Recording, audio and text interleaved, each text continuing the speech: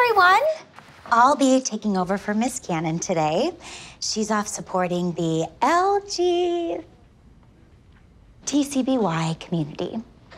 So, what is she teaching you all right now? Science! Neato. We just learned how the world was created. The Earth is 4.5 billion years old. Well, that's what some people believe. Some people? Sure. There are many different theories, and that's a great one. So, let's talk about lava. Wait, what's another theory?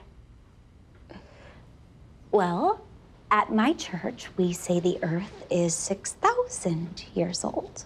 So, animals evolved in 6,000 years? If evolution was real, sure. Wait, evolution isn't real? It's a cool, kooky idea, but it's not what actually happened. So we don't need to know about Darwin or Neanderthals or natural selection? Nope.